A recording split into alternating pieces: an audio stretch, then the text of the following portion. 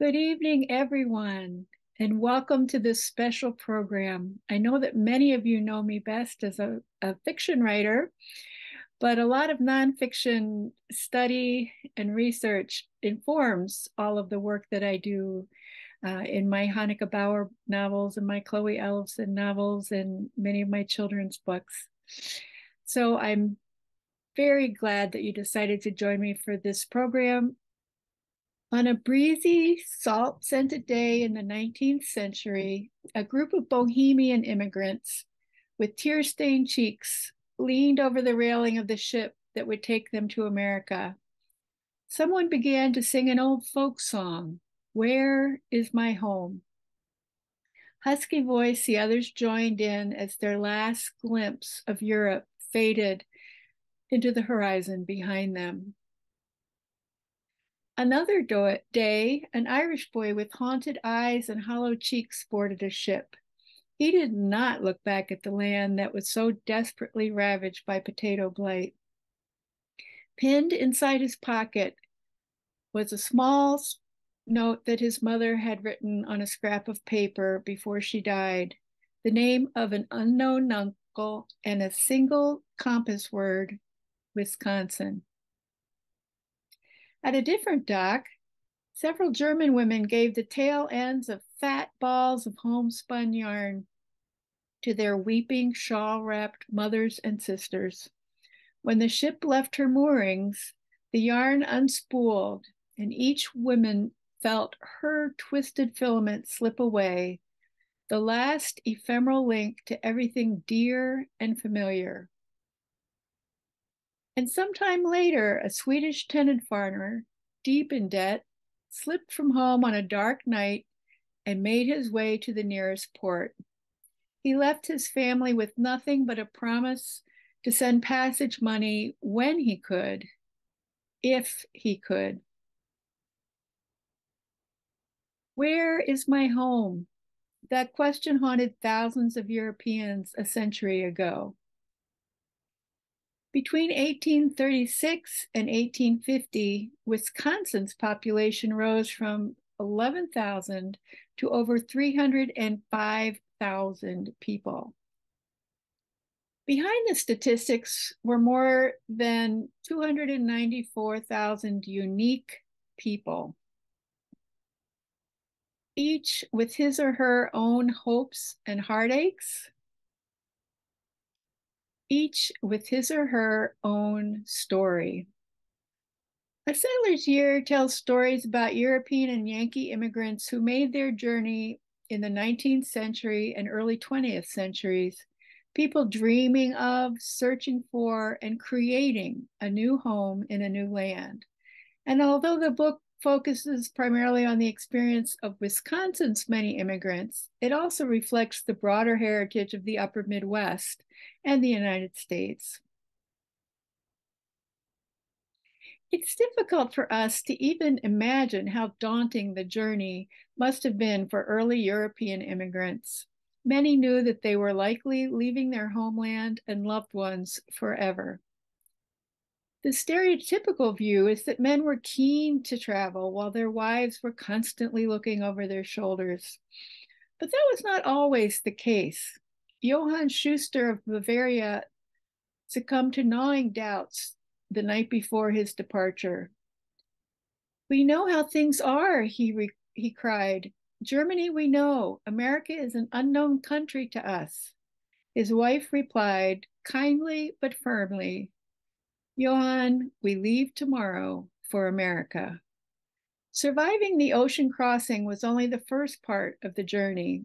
Newcomers traveled canal boats, sloops, or steamships, in rattling train cars or plodding wagon.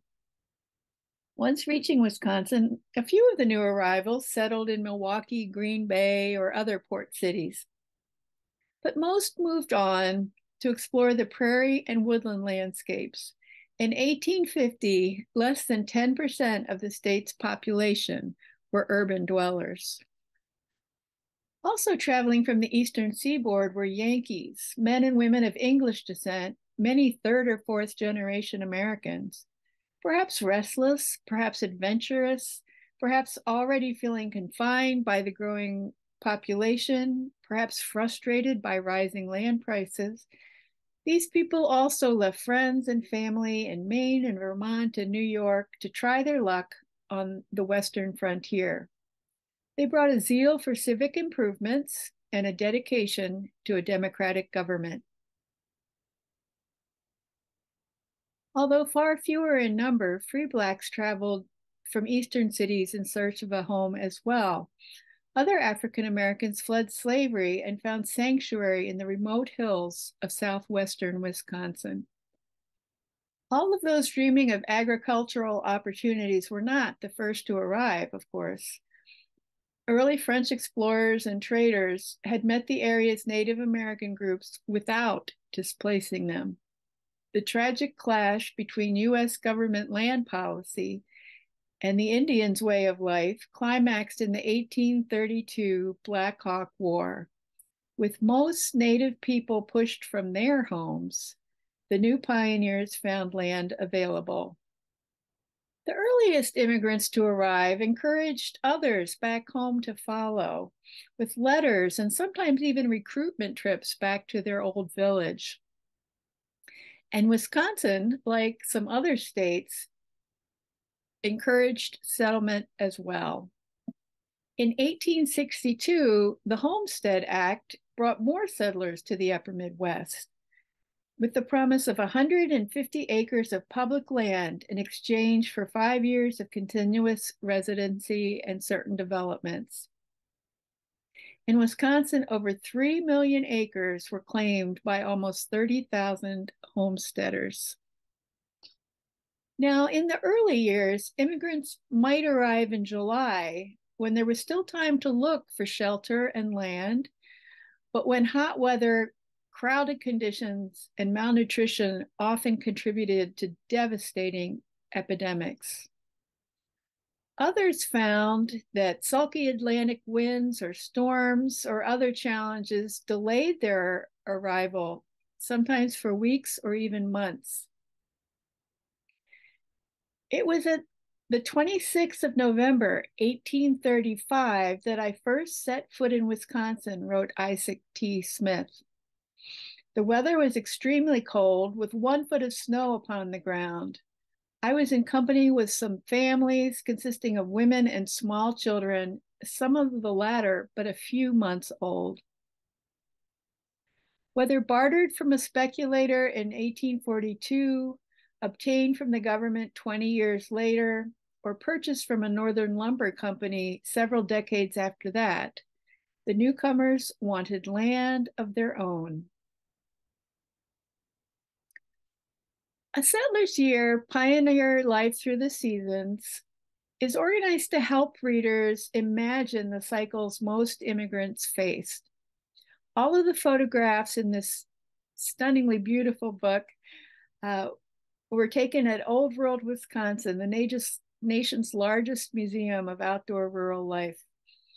Unless otherwise noted, the images were taken by a beloved colleague, Loyd Heath.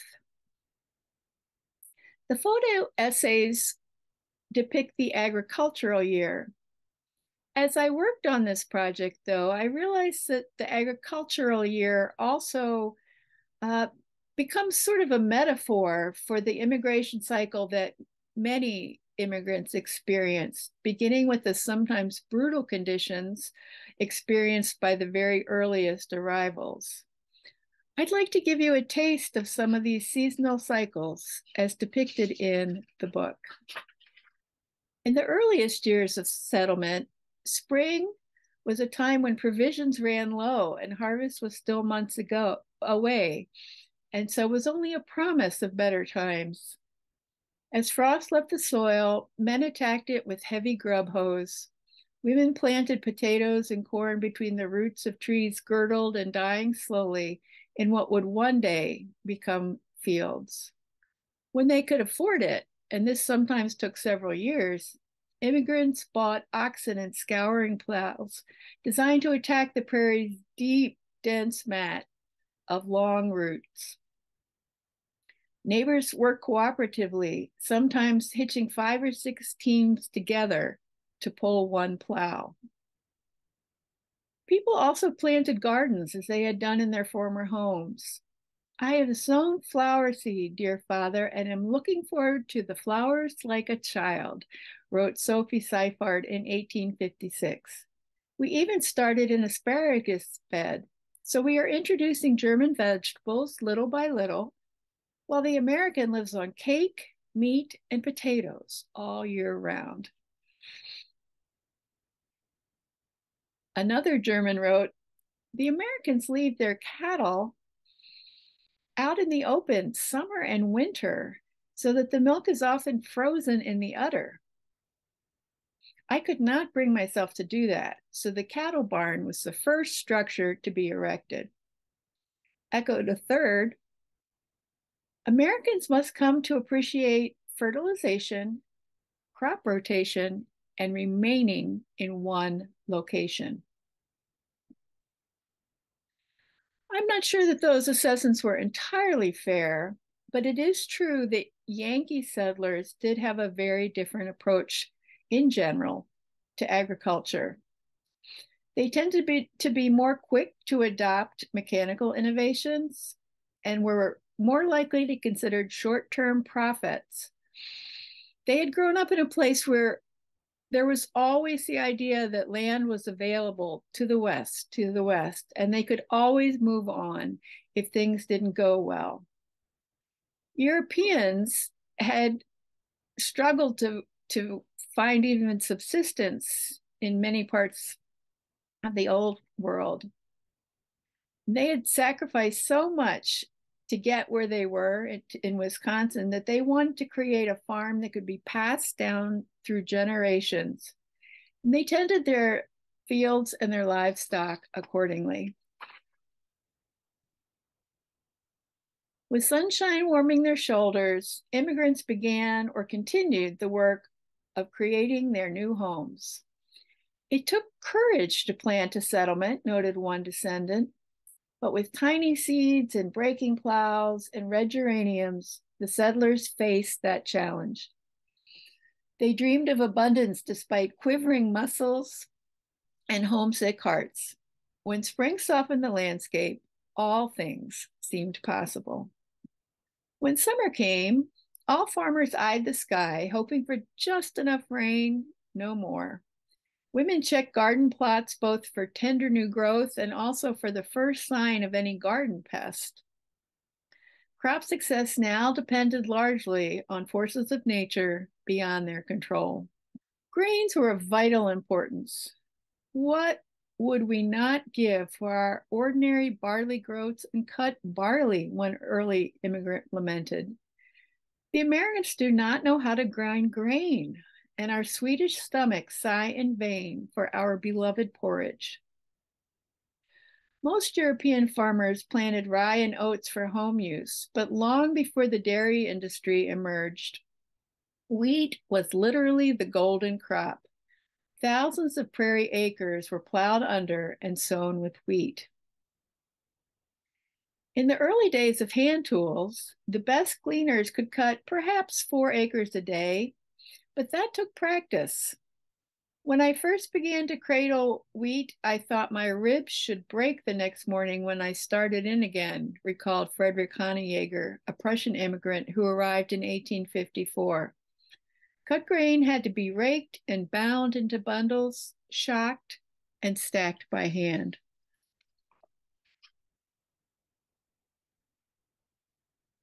Women worked inside and out, including field work, one pioneer noted of a neighbor Mrs. Nass was always a persistent worker in the fields. Her husband cradled the grain and she bound it. When she could not do her housework in the daytime because of the press of outside duties, she did it at night after supper and the chores were done. And while she was doing all this, Mrs. Nass raised 18 children.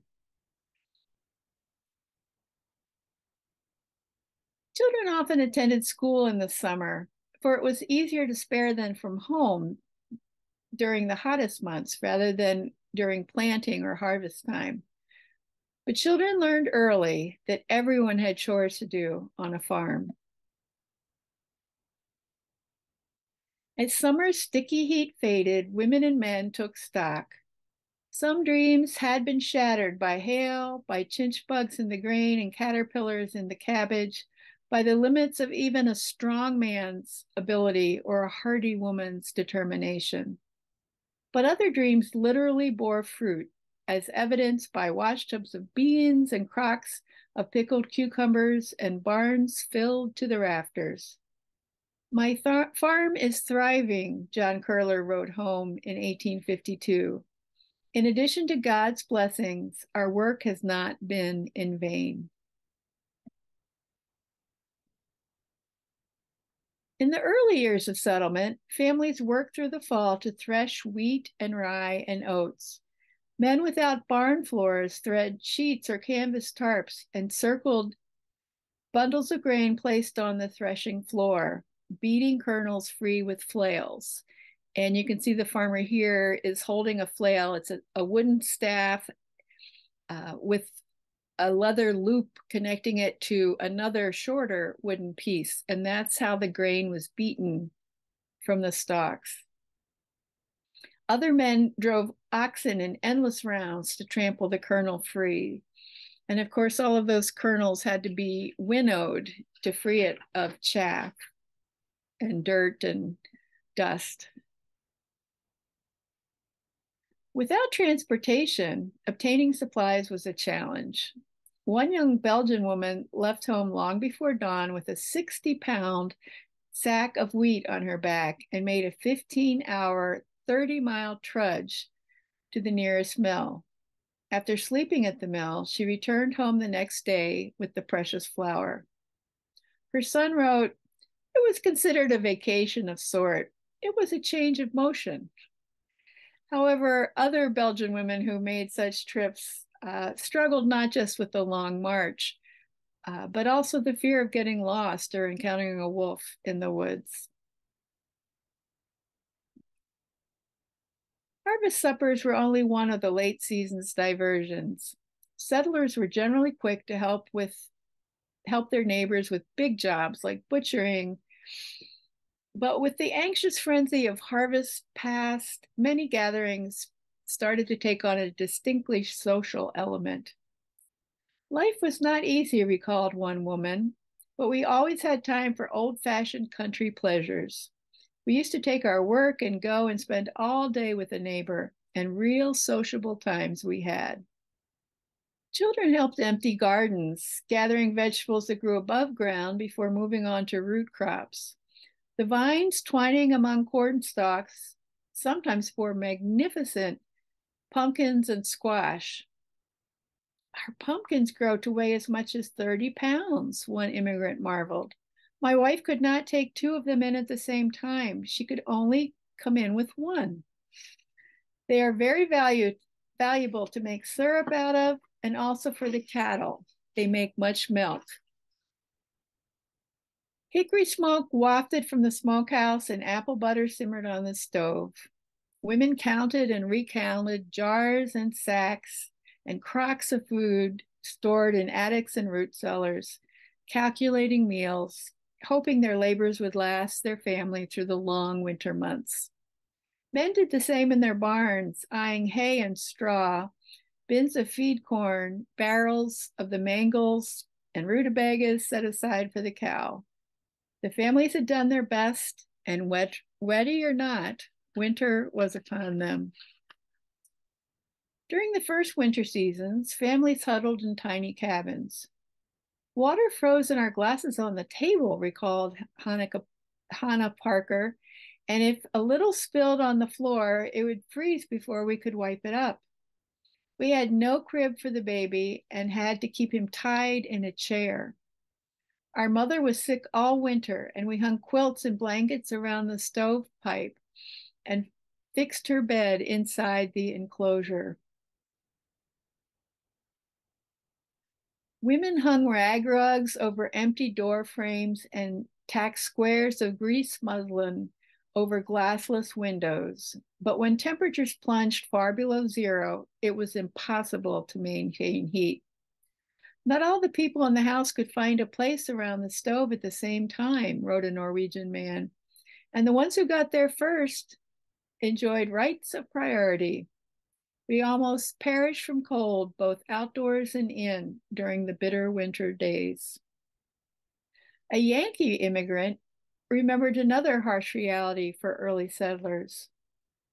Only those who've experienced it can imagine the loneliness of the first winter 30 miles from the nearest post office. One inconvenience was the lack of matches. One wild, windy night, Mr. Garner's fireplace went out. Soon Mr. Salisbury came. He too had lost his fire. Together they started for Mr. Smith's house to borrow coals. Mr. Salisbury fell into a river when crossing on a fallen tree. While Mr. Salisbury remained at Smith's to dry his clothing, Mr. Garner started homeward. After going some distance, he thought his pail felt light, and he realized that the bottom had melted and he had lost all of his ashes. Returning, he borrowed an iron kettle, filled it with coals, and finally succeeded in making his way home with it. Even in the most brutal cold, one crop beckoned timber.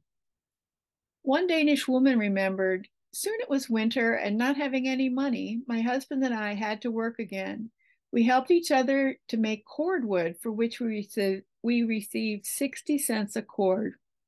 We had to wade through snow knee deep and yet had to work every day the weather permitted it. It was necessary to survive. Another account told of a woman who shouldered an axe like all women did in those days and went into the woods with her young husband, helping him fell trees and saw logs. She wore men's heavy boots, and often the axe would glance off while she was cutting wood and cut into her boots. She and her sister in law also felled trees unassisted by help for several winters. Despite the grueling labor, many women took satisfaction in their accomplishments and contributions and relished being outdoors. As communities were established, winter did not keep people indoors, including children heading for school. We used to get pretty cold on winter mornings, wandering through deep snow with the temperature 20 or 30 degrees below zero, a woman named Angela Favell re- remembered and young adults cherish sleigh rides. One man recalled the crack of the driver's whip as the horses started off, the jingle of bells, the sharp, crisp winter air, the joyful songs and bandying of jokes. Usually you went to some town 15 or 20 miles away. You rode all evening and probably reached the inn by 1 a.m. Then came oyster stew, you sat around the stove telling stories, singing songs, and cracking jokes for a while. Then back home. If you were lucky and there weren't any drifts, you got home before daylight. Some immigrants use quiet evenings to write letters. Emmeline Moulton poured out her anguish in one. You don't know, Aunt Delinda, how anxious I am to go back to dear old Vermont and have a good visit with you all. Should we never have the pleasure of meeting again on earth, let us anticipate a joyful reunion in heaven where parting shall be known no more.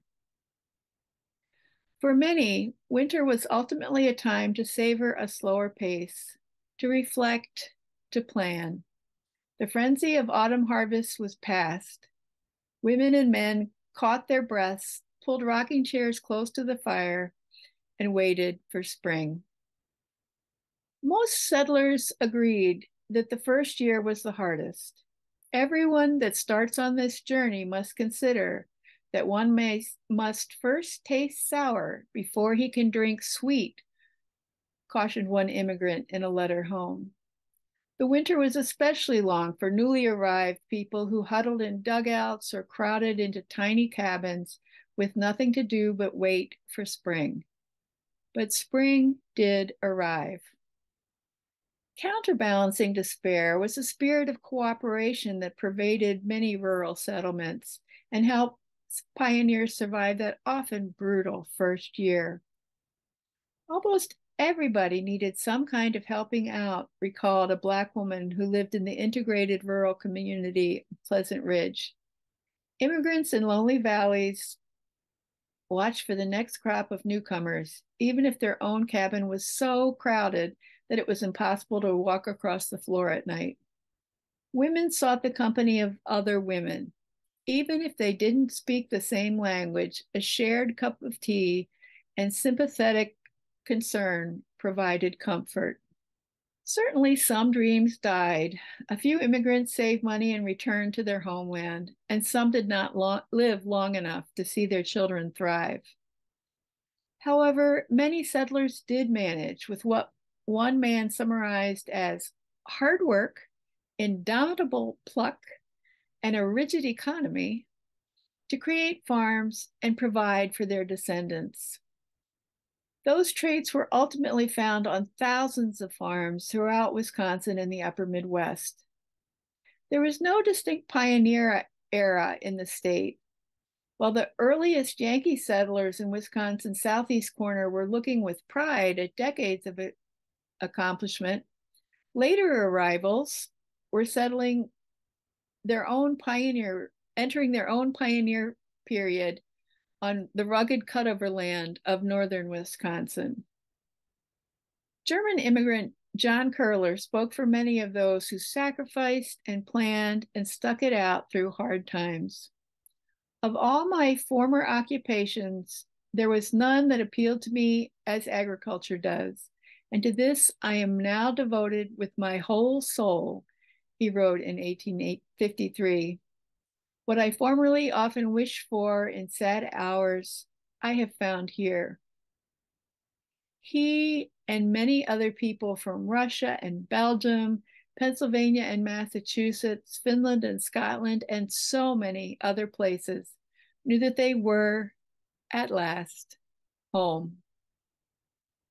I wanted to mention a couple of other projects that uh, emerged from the kind of research that I did as I compiled A Settler's Year. My newest book out is called Lies of Omission. It's the first uh, book of a trilogy about a Pomeranian woman from who's from Prussia, uh, northern part of what we think of now as Germany.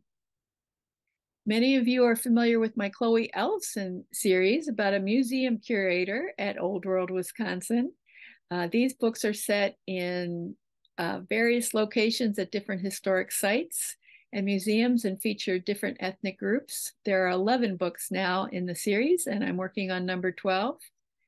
And I also recently coll collected uh, some poems together for a compilation called Balancing Poems of the Female Immigrant Experience in the Upper Midwest, 1830 to 1930.